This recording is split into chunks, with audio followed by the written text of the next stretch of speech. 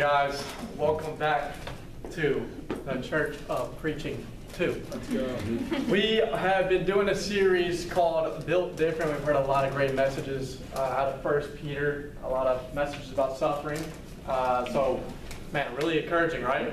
Let's go. Uh, today, we're going to focus on the same series, Built Different, but the title of my message is actually Live Different. So don't just be built different, but live different. And so I'll be preaching out of 1 Peter chapter 5, verses 5 through 9. So I'll let you get there. Uh, I'll give you two seconds. One, two, and there we go. Now we're at 1 Peter chapter 5, 5 verse through 9, sorry. Uh, and I'll read it for you. Likewise, you who are younger, be subject to the elders. Clothe yourselves, all of you, with humility toward one another. For good God opposes the proud, but gives grace to the humble. Humble yourselves, therefore, under the mighty hand of God, so that at the proper time he may exalt you, casting all your anxieties on him, because he cares for you. Be sober minded, be watchful. Your adversary, the devil, prowls around like a roaring lion, seeking someone to devour. Resist him. Everyone say, resist him. Resist him. Firm in your faith, knowing that the same kinds of suffering are being experienced by your brotherhood throughout the world. Wow, that's a really encouraging last verse. Resist him firm in your faith, knowing that the same kinds of suffering are being experienced by your brotherhood around throughout the world. So in First Peter, Peter's kind of talking to five different churches, and he's, uh, you know, he's kind of encouraging them. They're going through persecution, and right here he gives us some pretty applicable steps to live our life. And the first one is clothe yourself with humility. Clothe yourself with humility. Do you want to know one of God's least favorite things? One of God's least favorite things. I want to take a. Jonathan, do you know what God's least favorite thing is? One of God's least favorite Someone things. who is pride. Pride. He hit it right on the head. Pride is one of God's least favorite things. And the opposite of pride is humility. Peter began this word of humility to younger people. And in contrast to the elders that he had just addressed earlier on in 1 Peter chapter 5, that Daniel took care of uh, last sermon, uh, last Sunday. So he took care of that, but then he soon realized it is the application to all of you, to all of you, young and old, class and Dr. Ehler. I'm just kidding. this word is to be submissive to one another and be clothed with humility, and it applies to everyone. Clothe yourself with humility. Humility is demonstrated by submission. So it's important that we realize that humility is demonstrated with an action. Hmm. You can't just call yourself humility and not take action on it. It is the ability to cheerfully put away our own agenda for God's. Yes, all of you, and it means all of you, even young and old, strive to serve each other. You can't just serve God, you have to serve God and serve each other. Be clothed with humility. The phrase be clothed translate translates a rare word that referred to a slave that was putting on an apron to work, to be before serving. And even as Jesus did before washing his disciples' feet. His feet, their feet, sorry. We have all had a feeling once of uh, being prideful and then quickly punched in the face by humility, right? I can give you an example. One time in uh, high school, I was playing basketball, and uh, I wasn't quite the best person on my team, but there was one game I got a little bit of minutes, and uh, coach put me in. I mean, it was it was you know the game was already over, but he put me in. I started making shots. Boom, three in your face. Bow. Another three. Boom, in your face. Bow. I'm like, okay, like let's go. I'm hitting shots. This is now this is not regular for me. All right. so I start hitting shots, and then I start, you know, getting a little cocky, saying a little few things that I shouldn't have, and uh, then quickly I go down, try to shoot a three, airball, boom, and then quickly hit in the face with humility. I preached a similar message on humility before, and I, I, related it to a rubber band. When you when you're so prideful and you, you're you're you're just continuing in this pride, you're stretching this this rubber band, and eventually you will it will pop. Eventually it will, but it's up to you to determine how much of a sting it creates. How long are you going to go on being prideful? Because I can tell you this the longer you go, the harder it's going to hit. Mm. The harder humility is going to hit.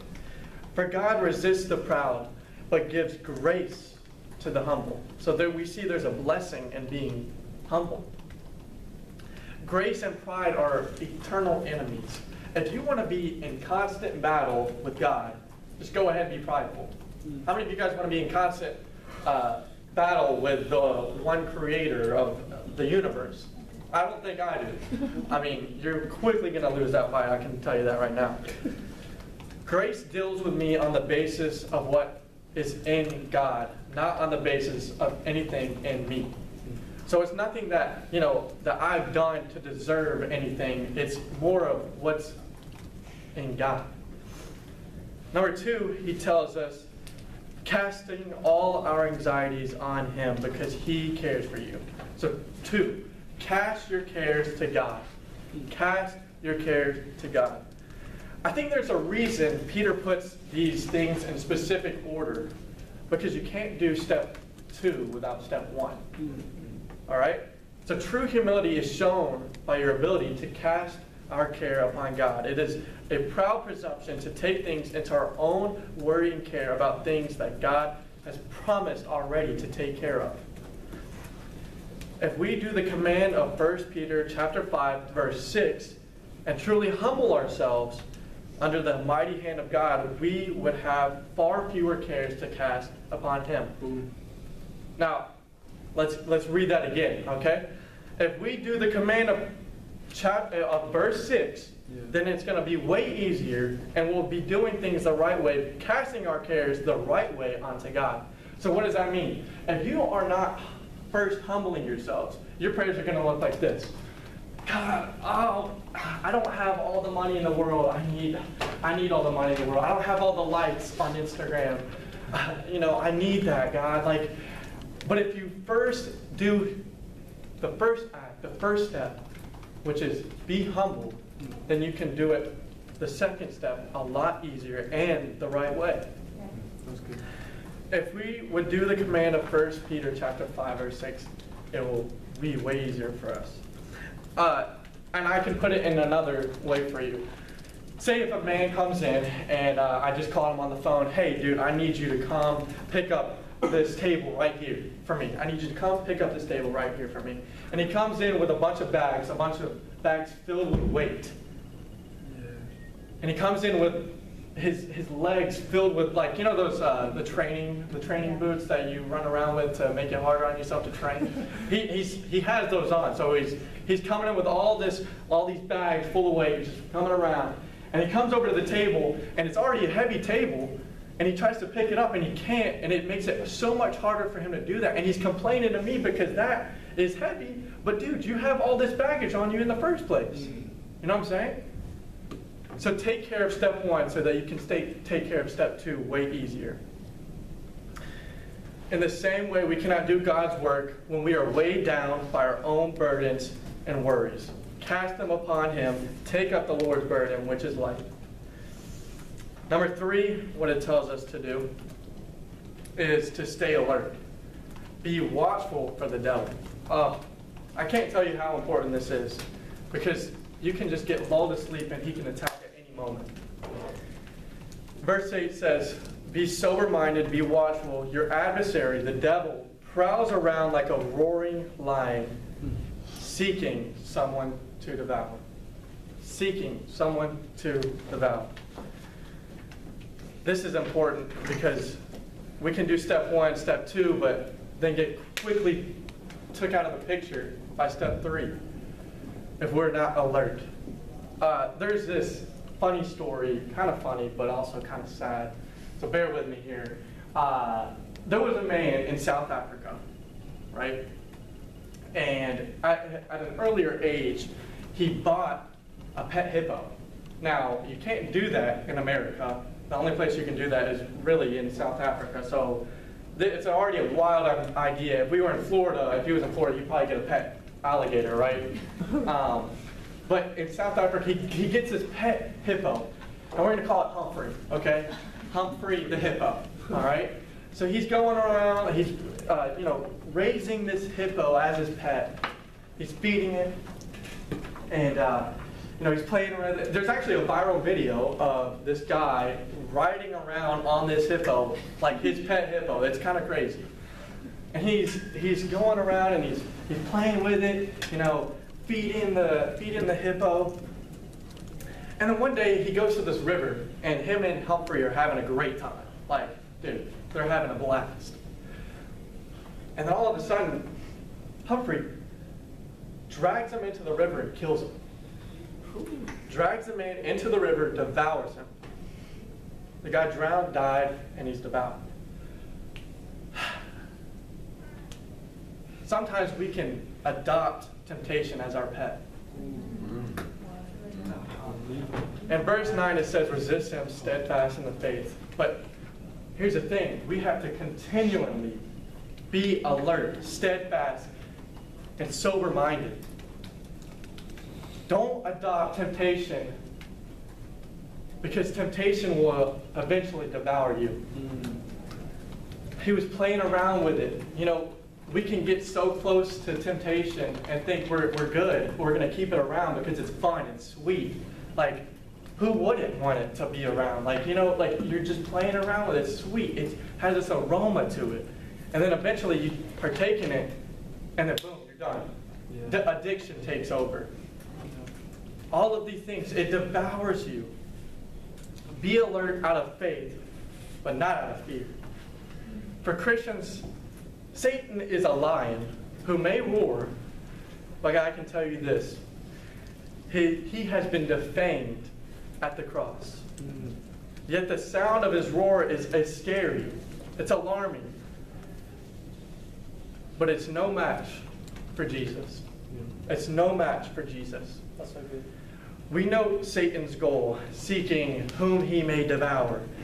He isn't just trying to lick and, and play and, and just get a little nibble. He's trying to devour.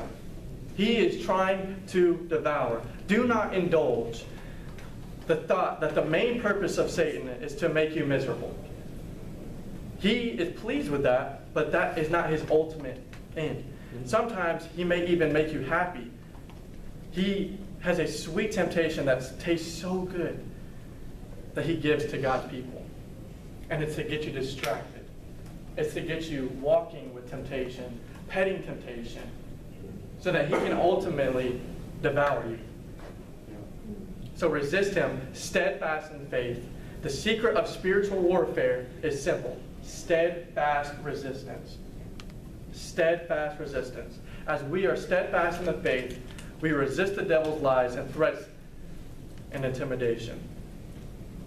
Resist comes from two ancient, ancient Greek words stand against. Peter tells us to stand against the devil. Satan can be set running by the resistance of even the tiniest believer who comes in the authority of what Jesus did on the cross. I just told you guys, he was defamed at the cross. He has a mighty roar that may, might seem scary, but I can tell you that Jesus is way more powerful. So, if you will, bow your heads and close your eyes with me. I feel like there's a couple people in this room that, you know, maybe you feel like this doesn't relate to you because you haven't even done step zero, which is accept Jesus into your heart. And I want to tell you today that is the greatest decision you could ever make in your entire life.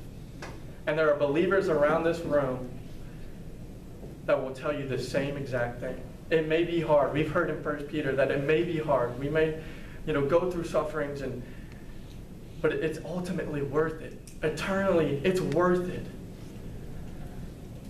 So if you are in this room and you haven't done step zero, I want to ask if there's anyone in this room that will, that will look me in the eye right now and great job, great job, great job.